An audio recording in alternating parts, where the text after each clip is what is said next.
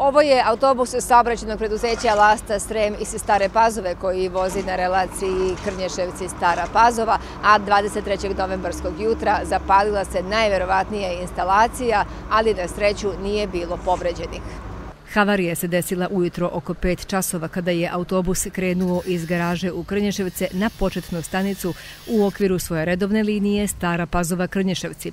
U centru Vojke vozač je primetio da nešto nije u redu. Okrenuo autobus nazad i izašao čim je motor u zadnjem delu vozila počeo da se dimi. Pokušao je da ugasi vatru, ali bez uspeha.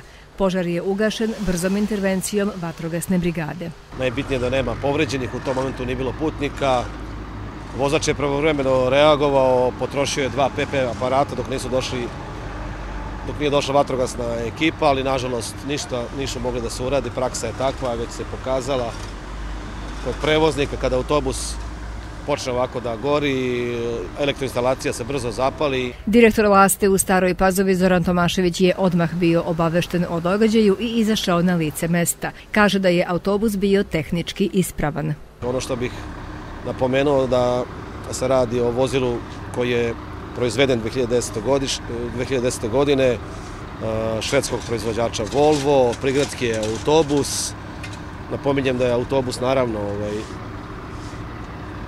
prošao i šestomesečni tehnički pregled, ali eto, desio se nemali događaj i još jednom napominjem što tiče nas i najvažnije da nema povređenih. Pretpostavlja se da su se zapalile elektroinstalacije, ali tačan uzrok požara će utvrditi istraga.